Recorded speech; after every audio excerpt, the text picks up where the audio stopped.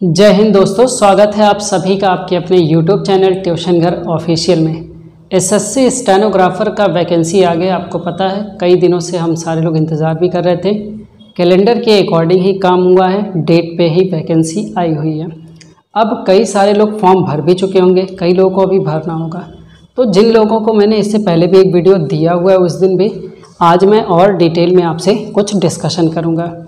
इस वीडियो में हम लोग जानेंगे कि फॉर्म भरते हुए क्या क्या सावधानियाँ बरतनी हैं, क्योंकि ऐसी बहुत बार गलतियाँ देखी गई हैं कि कुछ छोटी छोटी गलतियाँ हम सारे लोग कर देते हैं। मैं तो भुक्त भोगी हूँ उस काम का, ठीक है? चलो। अपने बारे में जिस दिन कहानी सुनाऊँगा, आप लोग भी कहेंगे कि हाँ क्या बात कह दिए सर। देखो भाई, क्या सावधानी बरतना है, इस चीज़ पे आप विशेष ध्यान रखना। क्योंकि अगर ये गलतियाँ आपसे होती हैं तो फिर मैं आपसे कहूँगा कि आपका एग्ज़ाम तो आप दे लोगे रिटर्न एग्ज़ाम आप दे लोगे, लेकिन स्किल टेस्ट देने लायक नहीं रहोगे। तो ऐसा कोई काम ना करना कि फॉर्म कैसे भरें, ठीक है?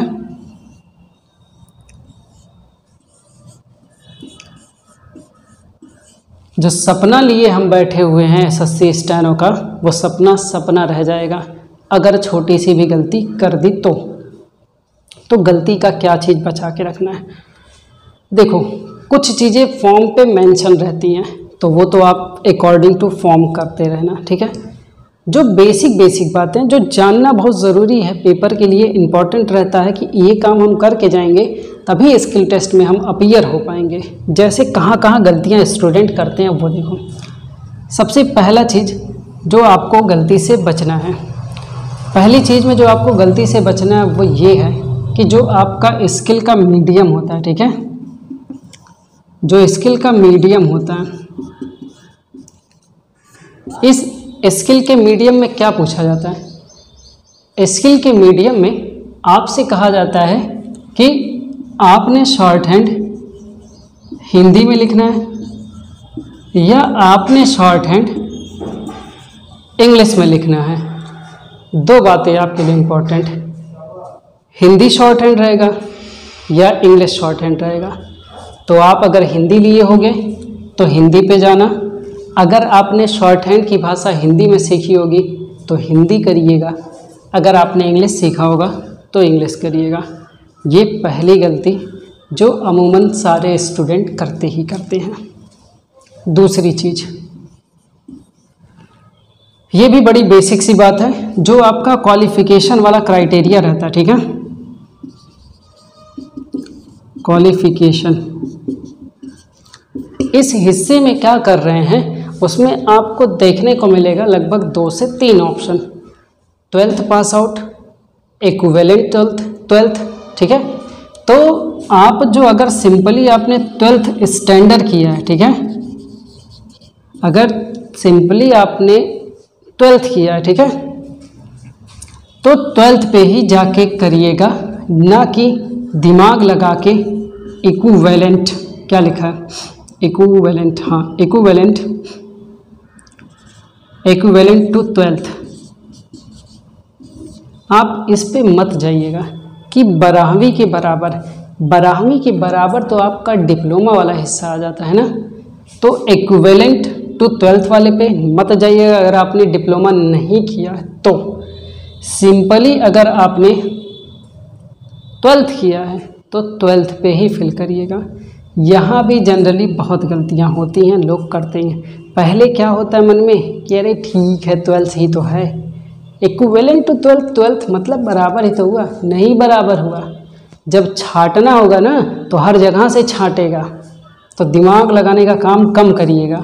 इसीलिए मैंने पहले भी बोल रखा है कि फॉर्म भरने में जल्दबाजी नहीं कि अरे लास्ट डेट आ रहा, अभी है ना दिन, सोच समझ लो, ध्यान से, गलती हो जाएगी, चिल्लाएँगे इधर उधर।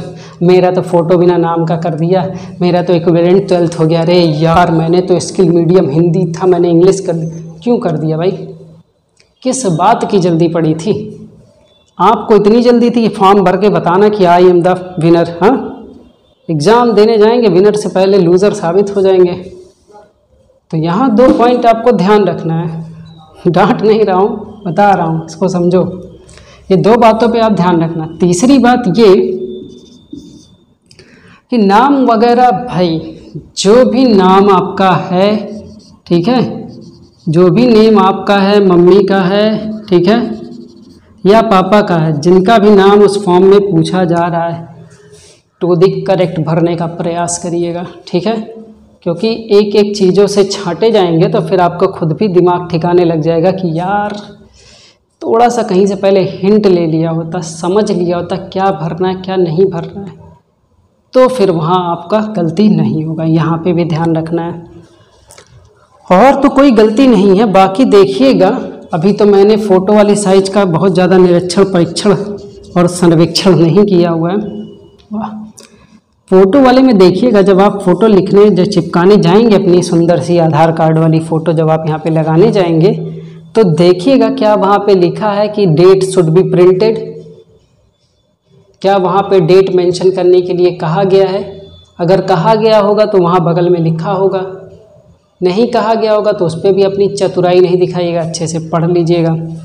डेट जो लिखा होगा फ़ोटो तीन महीना पहले की, पुराने की नहीं होनी चाहिए। या एक महीना पहले के पुराने की नहीं होनी चाहिए तो जाके साफ़ सुंदर छवि का अभी अपना एक छाया चित्र ले लीजिएगा। ठीक है?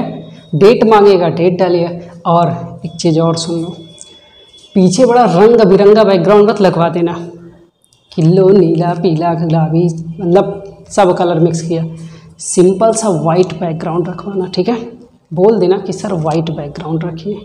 अच्छा लगता है। ब्लू भी रहे तो कोई दिक्कत नहीं है। वाइट बैकग्राउंड रखोगे तो बहुत अच्छा लगेगा, ठीक है? तो उनको बोल दीजिएगा, पैसा दे रहे हो फ़ोटो खिंचाने का कि नहीं? फ़ोटो खिंचाने का पैसा दे रहे हो तो थोड़ा ढंग का बैकग्राउंड भी रखवाना।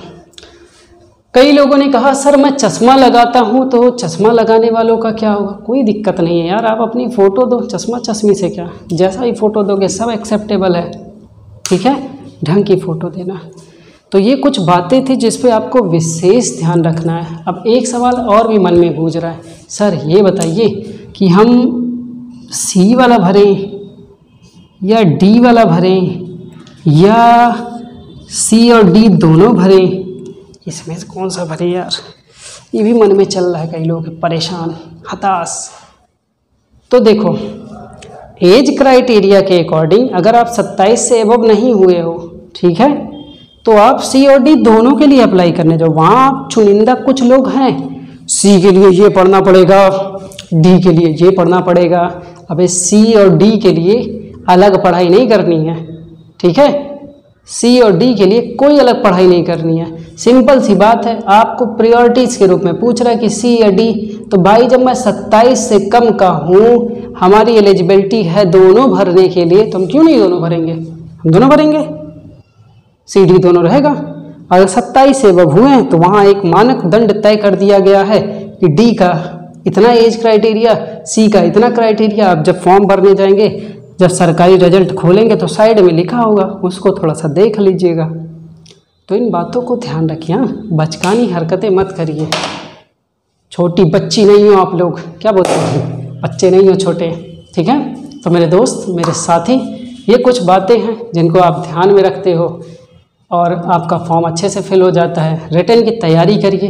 रिटर्न की तैयारी के लिए आप लोगों के लिए इंग्लिश की क्लास मेरे थ्रू चलाई जा रही है, जिसमें आप देख पाओगे कि पेड बैच के नाम से वो चल रहा है तो आप ज़रूर ज्वाइन करिए उसको। अगर मान लीजिए आपने सब कुछ पढ़ रखा है, बहुत अच्छे से आपकी तैयारी हो चुकी है और प्रैक्टिस करना चाहते हो ऑनलाइन मॉक टेस्ट लगा रहे हो, अच्छी बात है, लगाते रहो। आप अगर चाहते हो कि कुछ टू दी पॉइंट मतलब केवल इंग्लिश ग्रामर का मतलब इंग्लिश का सौ नंबर का पेपर मिल जाए करे तो जाइए, ट्यूशन घर ऑफिशियल ऐप पे जाइए, मैं यहाँ लिख देता हूँ। ट्यूशन घर ऑफिशियल ऐप पे जाइए। वहाँ पे आपको सारी चीज़ें, ठीक है? ट्यूशन घर ऑफिशियल, ठीक है? ऐप पे जाइए, वहाँ प्रैक्टिस बैच नाम से करके एक दो का रखा गया है, जिसमें सारी चीज़ें प्रैक्टिस के लिए अलग अलग सेट वाइज चीज़ें तैयार की गई हैं। ध्यान रखना, मेरी तरफ़ से केवल इंग्लिश का ही सौ नंबर का है ओके पढ़ना होगा तो बैच है प्रैक्टिस करना है तो बैच है, ठीक है? बाकी होपफुली आपकी क्लासेस आप अच्छे से तैयारी कर रहे होंगे। बहुत सारी चीज़ें इस चैनल पे शाम में, रात में नौ तीस से लाइव क्लास चल रही थी पहले, कुछ दिनों से हेल्थ का थोड़ा सा इशू था क्लास नहीं दे पा रहा था, आज से वो कंटिन्यूसली फिर चलेगा। तो ज्वाइन ज़रूर करिए। थैंक यू टेक केयर जय हिंद।